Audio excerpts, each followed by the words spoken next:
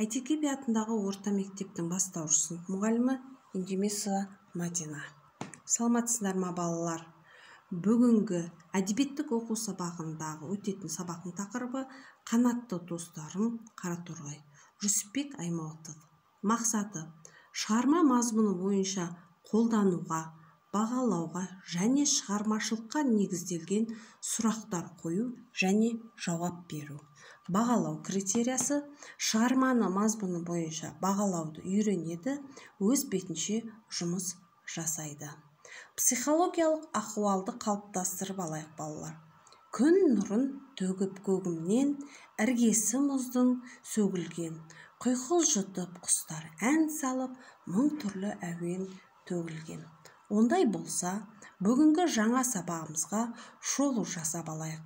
Жүсіпбек аймауытов жазушы ғалым жүсіпбек аймауытов 1889 жылы павлодар облысы баянауыл ауданы қазіргі жүсіпбек аймауытов ауылында туған.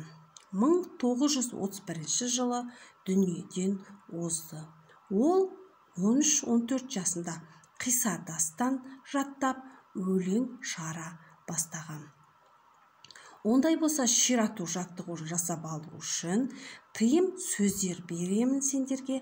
Осы тиым сөздерден өздерің сөйлем құрайсың тиым сөйлем құрайсыңдар. Аққуды құстарды лақтырма құсқа атуға болмайды жұмыртқасын досыңды тас болмайды сатуға жарма жұмыртқасын. Ондай болса балалар кішкене кәні ойланып біздің ширату жаттығуымызды жасайық ары қарай. Тыйым сөздер аққуды атпа досыңды сатпа. Құсқа тас лақтырма құстардың жұмыртқасын жарма. Балалар сендерден де осындай тиім сөздер шықты ма? Жарайсыңдар.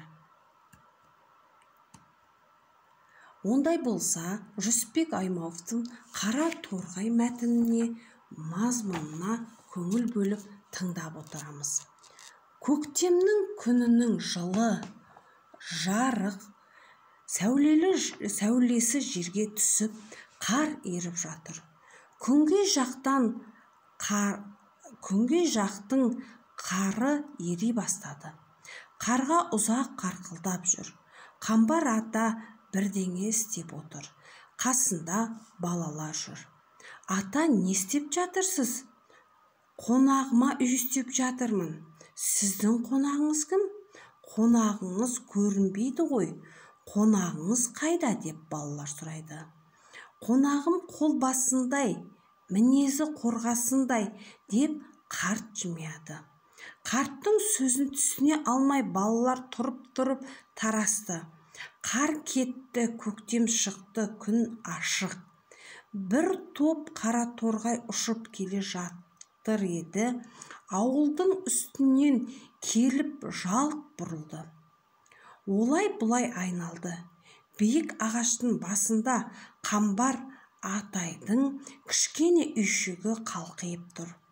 Қара торғайлар ұшып ауылға келді. Біреуі барып үйшіктің аузына қонды.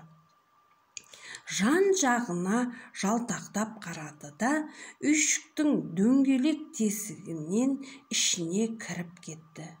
Өзге торғайлар да ағаштың басында басынан орын алды ұшып қонып жүр. Баудың көк шөбінің арасында жыбырлап қоңыздар жүр. Қараторғайлар ағаштан түсе түсе қалып қоңыздарды теріп жей бастайды. Шалшықтан су ішіп демалуға ағаш басына қонды. Тынығып алған соң ән салды. Мұндағы үйшікті көрген торғайлар сонда мекен алды. Күзге шейін кетпеді.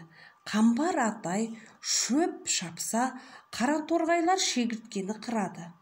Құрт шегіртке инелік маса шыбын бәрін егіннің жауы ғой. Сол жаулардың бәрін қараторғай құртады. Қараторғайдың пайдасы ұшан тегіс. Қамбар атайдың қонағым қол басындай мінезі қорғасындай деп міне сол қараторғайды айтқан екен.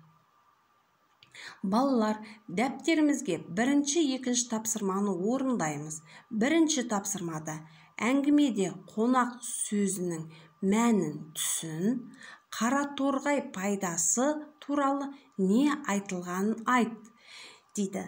Бұл жерде дискриптор әңгімеде қонақ сөзін мәнін түсінеді мәтіннен қараторғайдың пайдасын біледі. Екінші тапсырма. Табиғатты қорғауға дегенді қалай түсінесің? Анықтама сөздік жаз дискриптор табиғатты қорғау дегенді қалай түсінетіндігіңді анықтама сөз жаз дейді. Міне мына жерде бірінші екінші тапсырманы дәптерге орындаймыз. Ондай болса сабақты қорытындылайық.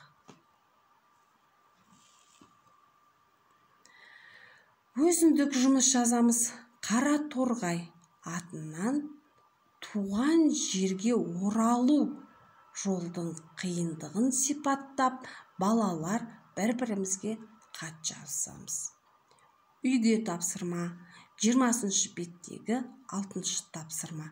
Мәтін мазмұнына сай жоспар жаз. Бұл біз сабақтан бұл тапсырмалардан мынандай дескриптор шығарамыз. Оқушылар мәтінді оқиға желісіне қарай бөліктерге бөліп жоспар құра алады. Сау болыңдар балалар. Осымен сабағымыз аяқталды.